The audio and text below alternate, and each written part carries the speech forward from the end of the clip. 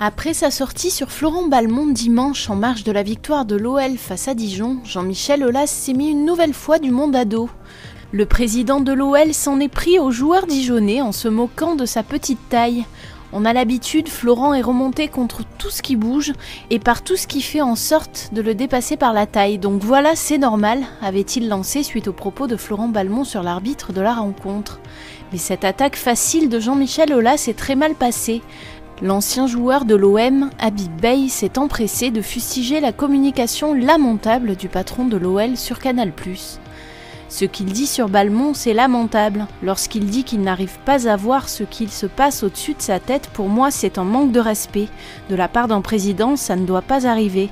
Qu'il fasse ses petits tweets parfois, ça amuse tout le monde, mais il ne faut pas qu'il oublie qu'il a une fonction de président. Ça nous amuse tous, c'est bien, et comme c'est Jean-Michel Aulas, on a l'impression qu'il peut tout dire et tout faire. Sauf que c'est un manque de respect total, c'est indigné Habib Bey dans l'émission 19h30 Sport sur Canal+.